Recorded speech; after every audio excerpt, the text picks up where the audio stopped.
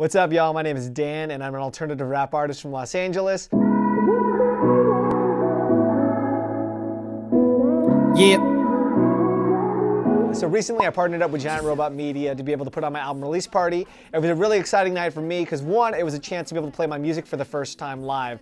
But then even more importantly, it gave me a chance to honor those people that really have helped me in my career so far. And so I had a lot of musicians, a lot of different artists, a lot of different people uh, from the community that were there that uh, we got to just kind of celebrate together.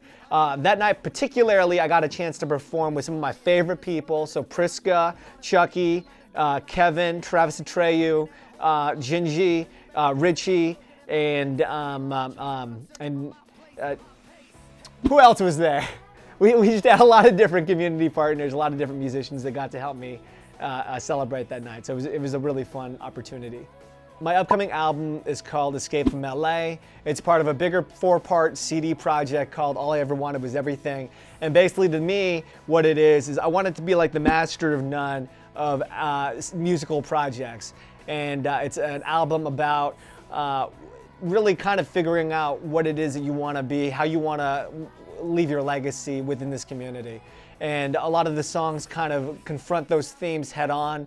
Uh, it's about family, it's about love, it's about anxiety. And I think these are a lot of things that, I, that uh, Master None really uh, takes on in a uh, really, really astute manner. Uh, most of all, it's about identity. It's about figuring out what your identity is as a second generation kid within a multicultural uh, world.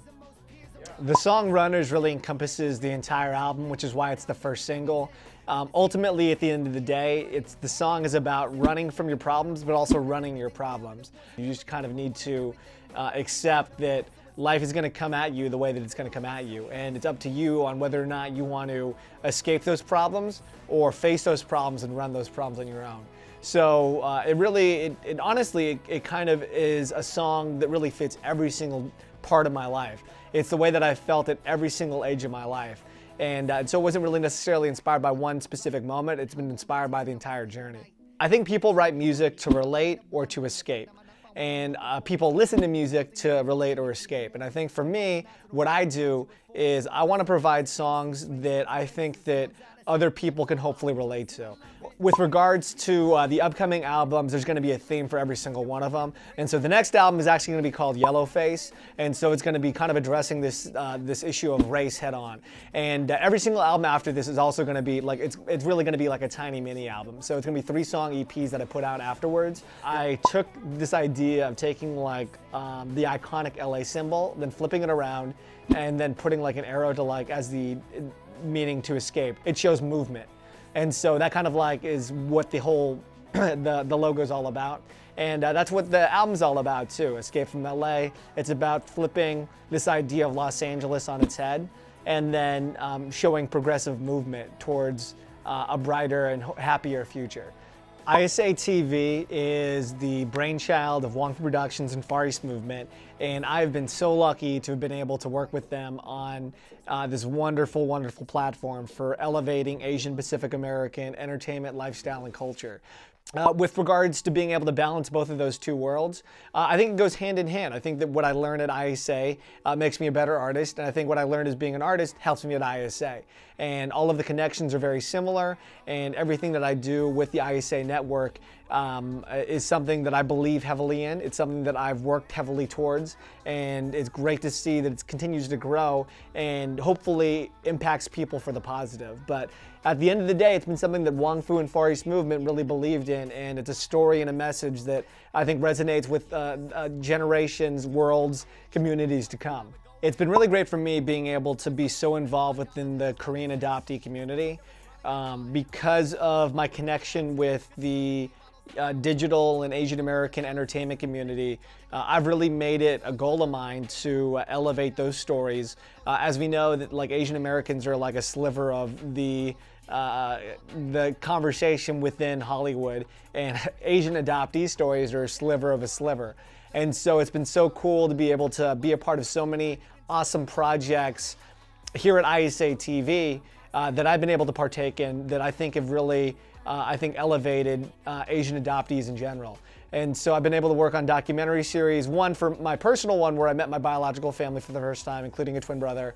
And that was on YouTube. And I think a lot of people, even, even non-adoptees, were able to watch that and find a lot of interest and a lot of uh, relatability to this, this idea of like coming from a different background, feeling lost in a, another country, uh, and then feeling um, different because your family's different. So there was that, and then I also got to work on a project which was kind of a sequel where uh, I got to follow five other adoptees and, and, document their stories. And so for me, it's been really cool, and I, I, feel really, I think, I think that I'm just really thankful that these people have wanted to share their stories too, and that I've been able to be a part of a, uh, a, a world where I can help elevate them and tell their stories in hopefully a respectful way. And then most importantly, I think it's allowed other people from around the world that are adopted to see just just other content around them. It might not be their story. Uh, it's probably not their story, but just the fact that other content exists out there in a relatable, accessible manner, I think means the world to a lot of other adoptees. So um, that's been really just heartwarming and, and, important to me.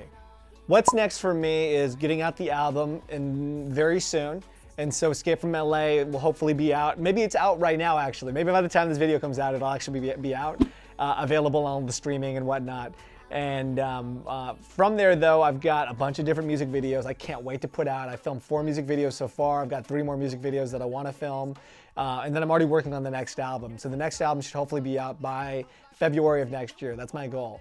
Uh, I had a chance to go out to Singapore recently and I got to perform out there, but I just want to perform in more locations. And so I think there's going to be a lot of really cool opportunities to be able to perform in places around the world very soon. And uh, hopefully within five years, I've been able to just continue to make music and push it out there. Content wise, I'd love to like still work on more adoptee content. I think there's gonna be opportunities for that soon too. And uh, just kind of just elevate that particular part and just, just hopefully that drives me. Yeah, thank you guys for checking me out. If you want to check out more, follow me at DANakaDAN. I've got a website now, danakdan.me, and you can find out the merch and everything there. Thank you, Giant Robot, viewers and listeners. Um, I really appreciate it. Just keep on elevating the game. Thank